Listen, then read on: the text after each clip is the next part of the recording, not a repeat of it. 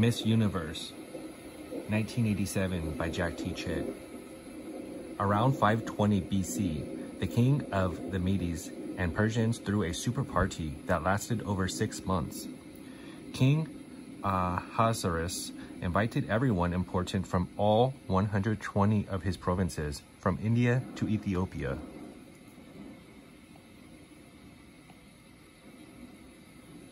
The king showed off all the riches of his glorious kingdom.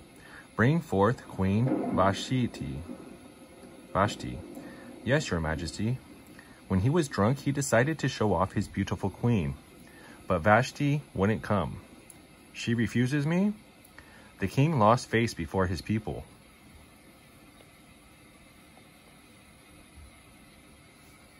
The story spread like lightning.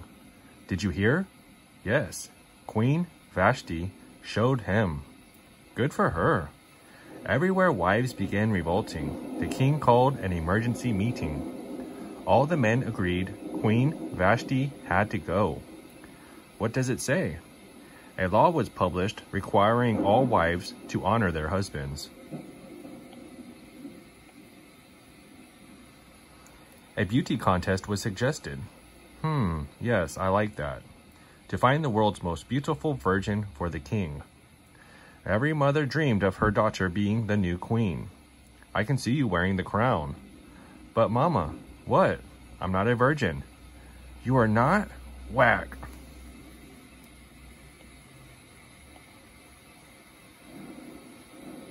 God was setting the stage to block one of Satan's most murderous attacks upon the children of Israel.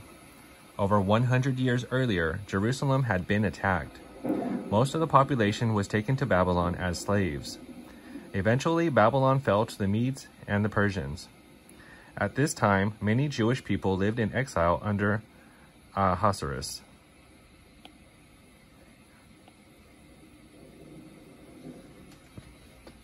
Mordecai, a Jew, lived in the palace. He had a beautiful foster daughter named Esther. You must never tell anyone you are a Jew. Yes, Mordecai. Esther was taken with the other virgins to prepare to meet the king.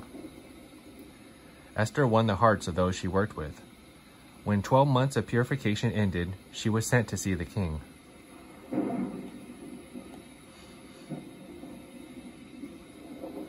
The king loved Esther above all the women, so he made her queen instead of Vashti. The king threw another party, he called it Esther's Feast. He didn't know that Esther was a Jewess.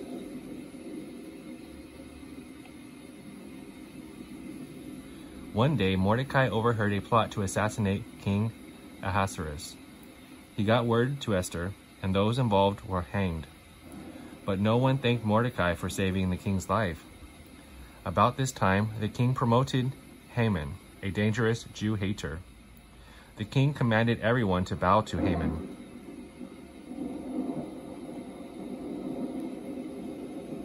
Haman was like a prime minister. Everyone bowed to him. Everyone that is except Mordecai. Who is that man? Mordecai was warned not to show disrespect to Haman, but he would not listen. Haman was filled with wrath. Esther 3.5 Haman was told that Mordecai was a Jew. There's another one. I hate them all. So Haman sought to destroy all the Jews. See Esther 3.6 They cast lots to pick the exact day for the terrible slaughter. Now Haman had to sell his plan to the king.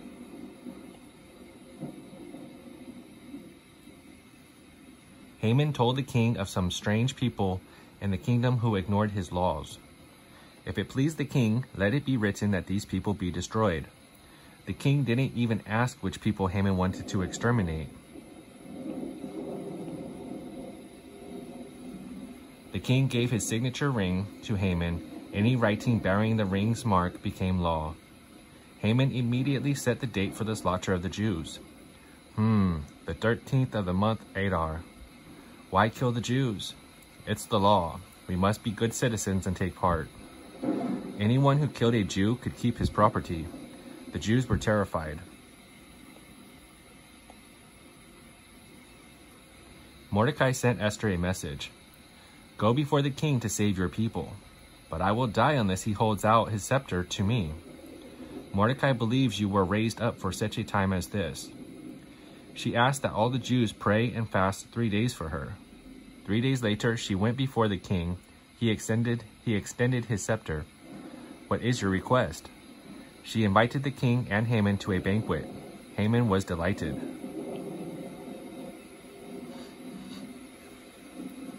Mordecai still refused to bow, so Haman built a 75 foot gallows.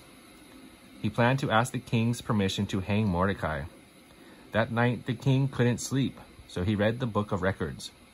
Was Mordecai rewarded for saving my life? No, your majesty. He must be rewarded. Just then, Haman arrived to see about hanging Mordecai. Haman, how can I reward a man I want to honor? He must mean to me. He must mean me. Dress him in the king's robes and a royal crown and lead him through the streets on the king's horse. Wonderful. Go do that for Mordecai. Haman couldn't believe his ears. Totally humiliated, Haman paraded his archenemy through the city as a champion. This is the man the king delighteth to honor. Hooray for Mordecai! Haman was so upset he forgot about Esther's banquet. The king's servants had to go get him. At the banquet, the king asked Esther what her petition was, and promised it would be granted. She asked that the lives of her and her people be spared. Who would dare slay the queen? This wicked Haman.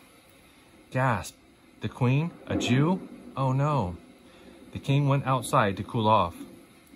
Haman fell across Esther's bed and begged for his life. Just then the king returned. Gasp! Will he rape the queen right in front of me?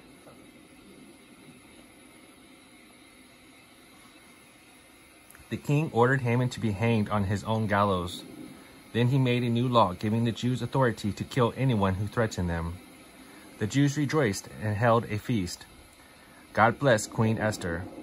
Today, Jews of the world celebrate the Feast of Purim as a memorial, memorial to this story.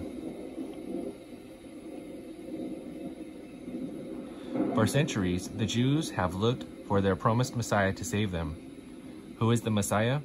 The prophet Isaiah described him, For unto us a child is born, and his name shall be called Wonderful, Counselor, the Mighty God, the Everlasting Father, the Prince of Peace.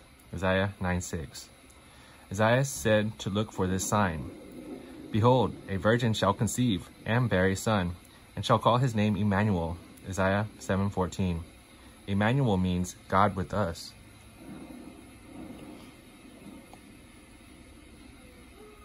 The Messiah had to suffer. Isaiah 53:5. Jesus shed his precious blood to wash away our sins.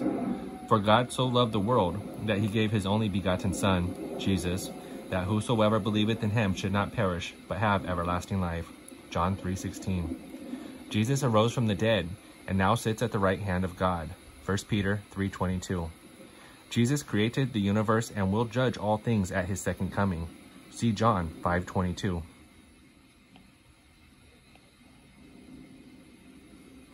Like Haman, another enemy of the Jews called the Beast will come to power. His goal will be to rule the world and destroy Israel. Revelation 13:14. When the Russian and Arab armies attack, Christ will destroy them on the mountains of Israel. Ezekiel 39:4. When it looks hopeless, the heavens will open and Jesus Christ will return as Israel's Messiah. See Revelation 19:11 through 16.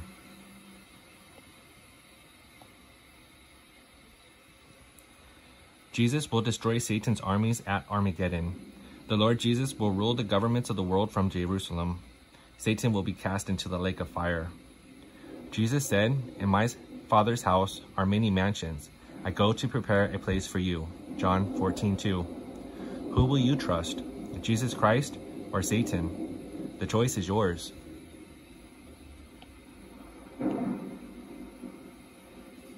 The Bible says there's only one way to heaven. Jesus said, I am the way, the truth, and the life. No man cometh unto the Father but by me. John 14, 6. Nobody else can save you. Trust Jesus today.